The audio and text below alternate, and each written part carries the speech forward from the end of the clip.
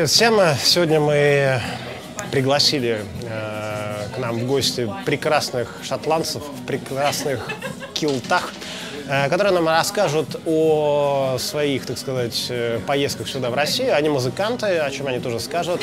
Играют здесь уже практически каждый год, то есть как на работу сюда ездят. Э, Дело в том, что будет речь идти про бал. Бал, который организует на самом деле Уильям Хаки Джонс. У меня был выпуск с ним в серии РЧВ. Э, Я на всякий случай помещу описание в ссылке под этим видео.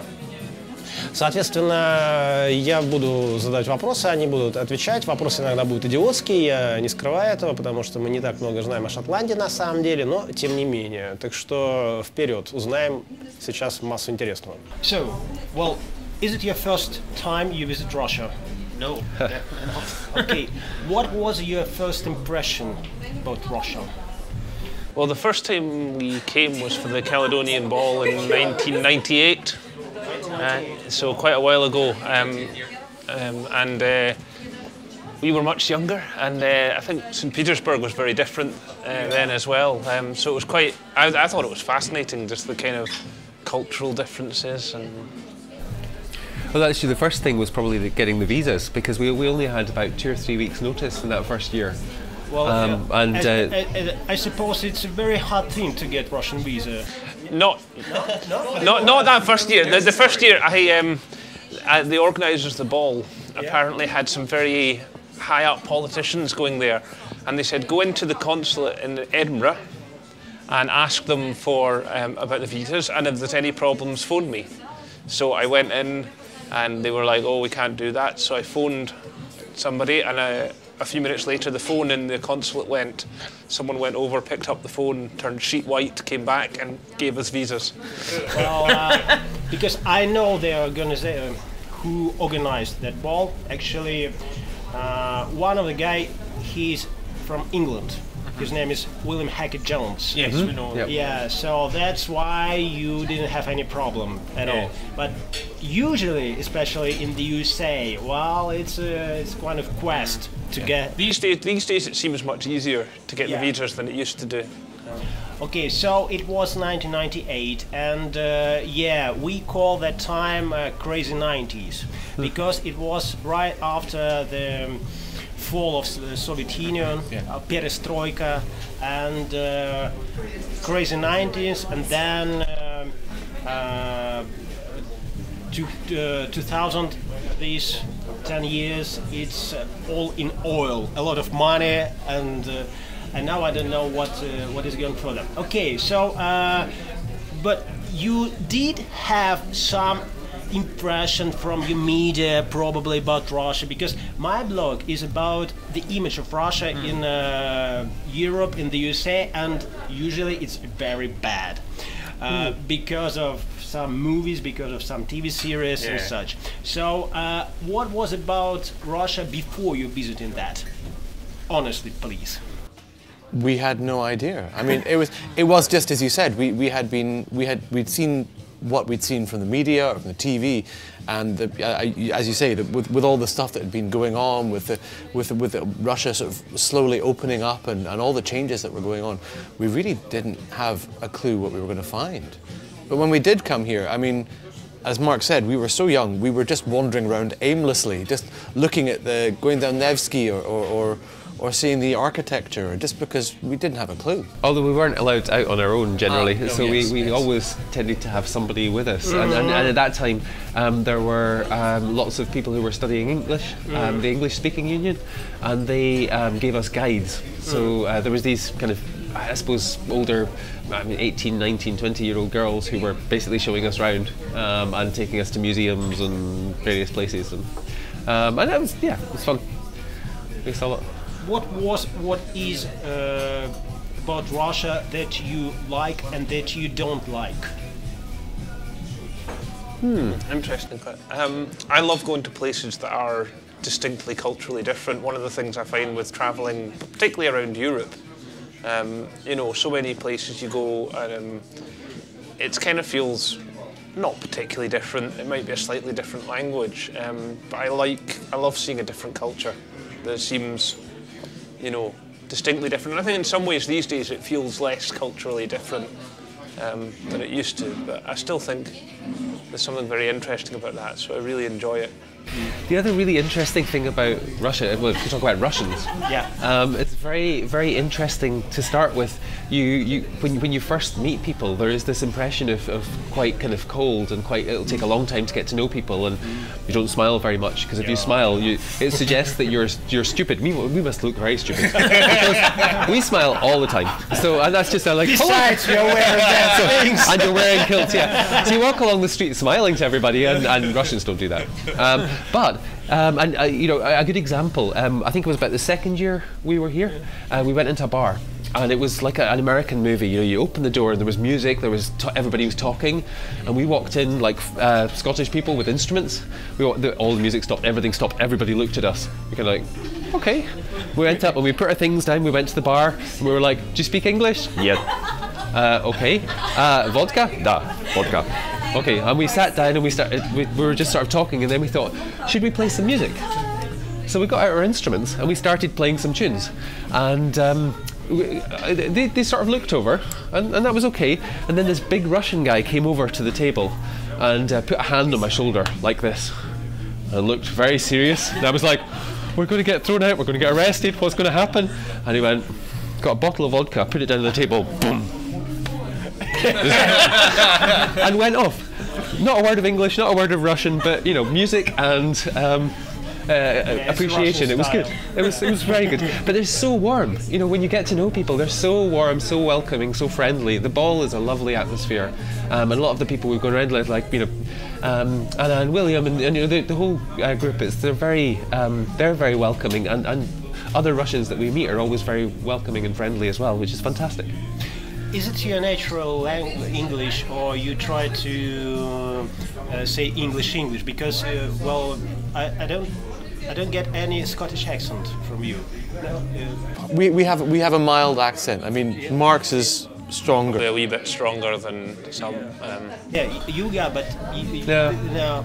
the Mike's, um, you find different part. The accents are very strong and change very rapidly in Scotland. So we have, um, you know, you can travel ten miles and people sound different. Because uh, as soon as I know, uh, s- s- some of parts are very similar to Russian language because you have sound like r, Yeah. r. Then you have some sound like not t but t. Yeah. Yeah, well, it, it's like in Russian language, so th- that's why when I hear some uh, Scottish accent, uh, I, I think that for some Russians, it's easier to get this particular accent because you don't have to change uh, a lot. Okay, so uh, you come here uh, very often now, yeah? So Well, can, can you, annual. Can, can you describe uh, because can you describe the change of of the country, of the city of St. Petersburg? Well, because uh, you know uh, what it was in uh, 1998, and now we have well uh, 10 years past. Well, what changed for you? I mean, I think our experience, particularly of the, the ball that we've been playing, um, one of the things we really noticed when we first came, it was very, very elite. You know, it was it was the political elite and the, you know, all the very well-to-do people about the ball. You know, it was obviously a very, and there, seemed to be that huge sort of divide between those with money No democracy in uh, society. yeah, the and I, I think that's because we, we came for I think four or five years from '98, and then we didn't come for about ten or more years, and then we'd come again for five years, um, or four or five years. And I think that's the thing I really noticed when we came started to come back four or five years ago was just um, it was such a more sort of varied country. Um, everything from the cars in the street. I mean, I remember was first time I came, just sitting watching like kind of either completely beaten up Ladas or Mercedes, and that's all. You know, nothing else. Just that kind of one or the other. Um, and people that came out to something like the ball these days, you know, there's students, there's all sorts of people. It's much more about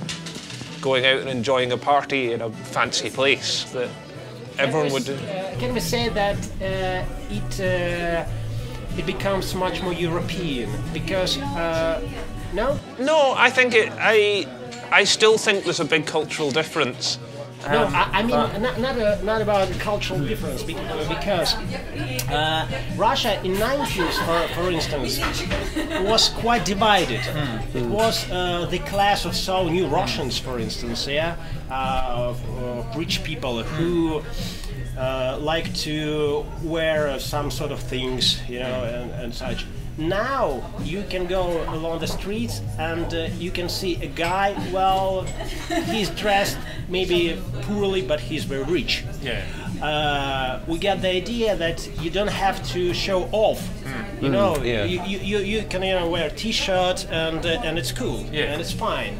Uh, maybe uh, mm, and that that is uh, I call European style of uh, perceiving the the world. Maybe that. Yeah. Okay, so okay, uh, well, uh, it's about the ball, but uh, probably about the city, about the country. Well, uh, uh, have you noticed some, you know, changes or something like? It's a lot. Um, when, when we came ear- early on, we went out of the city a little bit as well. Um, there was a, they call themselves a, a, a drinking club with a running problem that um, we uh, associated with and ended up going out to run.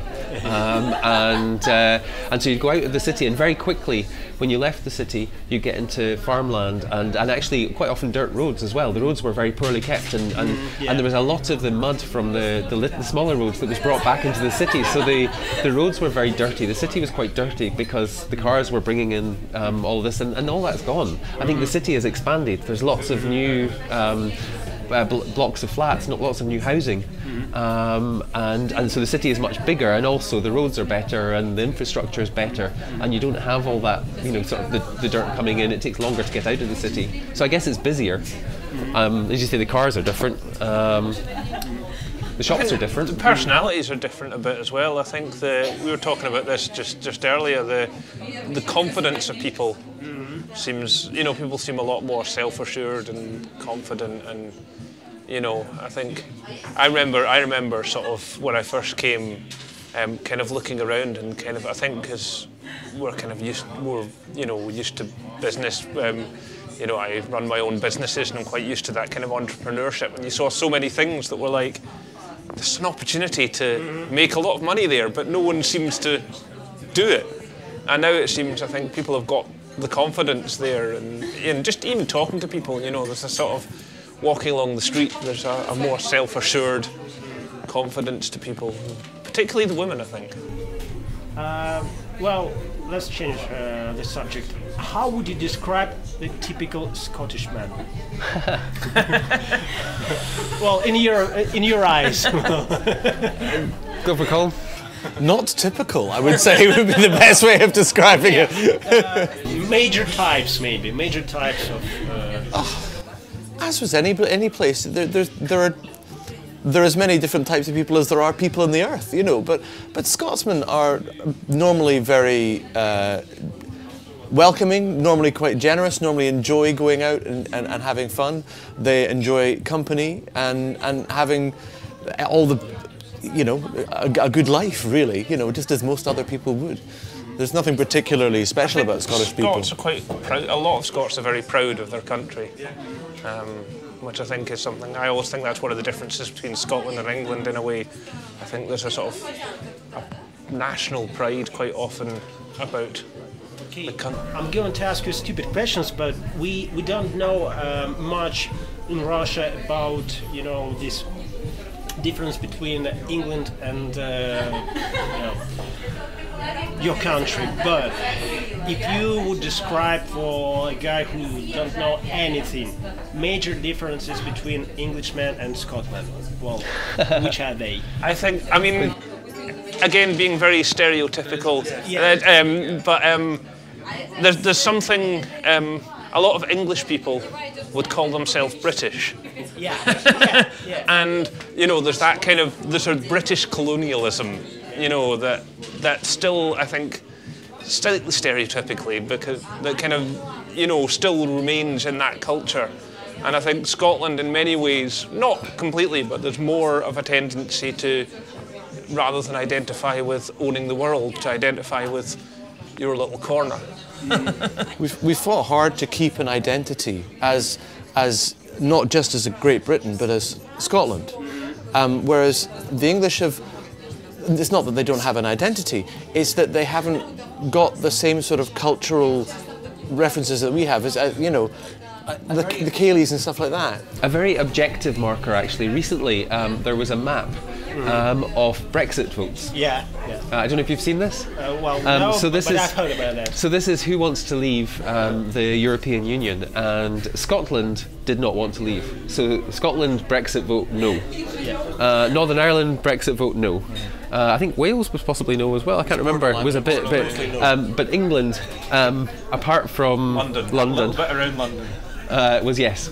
yeah, it's a, it's a very interesting remark, actually. Uh, but you know, uh, you particularly live in one country because you're very small. Well, in our, in our Yeah, yeah, we are a small country. yeah. but well, football different, Yeah. you know, parts. Yeah. You know, uh, do you have now your own parliament? Yes. Yeah, yeah. Yeah, your own in um, in not Nottingham, no, in, In Edinburgh, Edinburgh. a Scottish yeah, in Edinburgh. Yeah, yeah.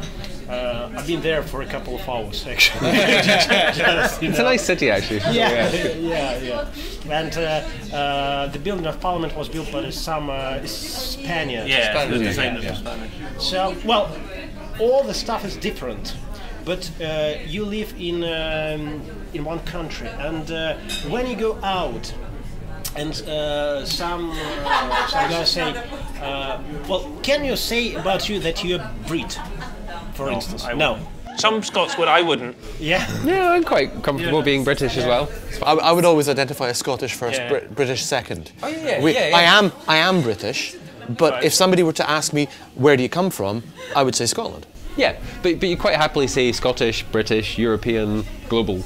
It's Isn't kind it, of not. isn't it irritating for some uh, Englishmen that you feel uh, from a different part, while you leave just uh, well right uh, the corner? I, I find it's more interesting that I often find English people, it's almost they get, I tend to get more of a sort of, I don't understand. You know, they'll go, oh, I'm British, and I'll go, I'm Scottish, and I'm like, what's, what's the difference? You know, Or, or, um, or the other thing, but I think, sorry, I, I think the other thing is particularly for us and for as we play our Scottish traditional music, which is very distinct from English music and the traditions. You know, we're much more linked with Irish and a lot of that music and that Celtic kind of side of things, which isn't really there in England. And I think as someone who spends my life being a, a musician playing that, that kind of in a way builds your you know your cultural identity around my job. Mm-hmm.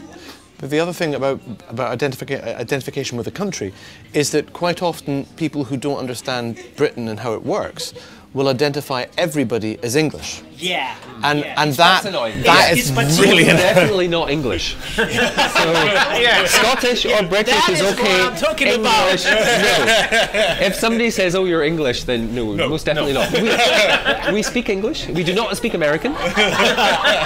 we speak English, but we are not English. Yeah, okay. So, uh, about your music. Well, uh, it's pipes, yeah? So We, we, I have, know, we we- don't have, um, But in general opinion, it's pipes some, uh, sometimes. And, uh, well, uh, I'm going to continue to ask stupid questions. Yeah, yeah. As long as you don't mind stupid answers, it's fine. so, um, about your kilts. Uh, is it true that uh, initially you don't have to wear anything under your kilt? Yeah? Socks? You have to sign the Official Secrets Act. okay. um, and uh, if we are going to, uh, um, if you look a Russian girl and uh, a girl from uh, from your country, how would you describe the major difference between them? Russian girls put off all, seem to be very, I'd say very um, appearance conscious of their appearance. You know, the the amount of makeup and Yeah, there's a lot There is, of, of uh, like Scottish girls who are too, but not everybody. Here it seems to be all, like everybody. Yeah. Everybody is thin, pretty. You know, the younger girls, um, a lot of makeup, a lot of kind of uh, care in their appearance. It's very, very rare. I can't think of anybody that we've met. Maybe we don't meet the ones who aren't. I, I don't know. It's just you don't notice, Mike. But it, yeah, th- there, there does seem to be this this thing of, uh, about appearance more so than um, in Scotland. I think. Okay, guys. Uh, well, uh, actually, uh, I've got uh, all that I wanted, and uh, well, uh, say a couple of words about uh, your band, about your music uh, and so. Yeah, so we um, we play mostly for Scottish Ceilidh dancing, which is our kind of social dancing. Um, and there's a, a long tradition of, of, of that dancing in Scotland, um, a lot of the old traditional tunes, but we've kind of made a bit of a twist on that. So we have a lot of the traditional style of music and dancing, but also blend in kind of rock music, funk, and bits of jazz. And Is it your job or hobby? um, we, I do music full time but various, not just with this band, with various things and uh, sort of sound production. These guys as well. Um, we're all get paid for our music, but also, you know, have day jobs as well, some other day jobs. Okay, I wish you success. Thank you very much. Oh, thank you for coming. Yeah. Thank you. Thank you for asking me. Yeah. Yeah. Вот такие позитивные парни из Шотландии ломают стереотипы об этих самых парнях из Шотландии, особенно если вы читали Ирона Уолша, ну или пытались, например, смотреть фильм на игре в оригинале. Это, конечно, занятие такое не из самых простых, потому что очень много непонятного из того, что там произносится. Здесь как раз был, ну, такой, я почему и задал вопрос, вполне себе британский английский. Я хочу вам сказать и напомнить, что 2 марта будет премьерный концерт остро-социального ансамбля ОСА в клубе Powerhouse в Москве. И примерно плюс-минус там даты будет еще концерт в Нижнем Новгороде и Петербурге. Следите за анонсами на моем канале и на страницах в социальных сетях. Будут все полюбившиеся треки и кое-что новое. Ссылка на покупку билетов, которые онлайн будут дешевле, чем на входе, находится в описании под этим видео. Также набирается последняя группа перед сезоном э, поездка в Париж 25 марта, если вам интересно, я скину все подробности. И есть возможность э, приехать в город Петербург в конце февраля или в начале марта, организованной толпою на три дня. Поселиться здесь, погулять со мной в пятницу, субботу, воскресенье и отвалить. Ну или остаться уже самостоятельно, провести время. Опять-таки, пишите мне, вышли все подробности. На этом все. Оставляйте комментарии вот там. Увидимся в следующем выпуске. Пока.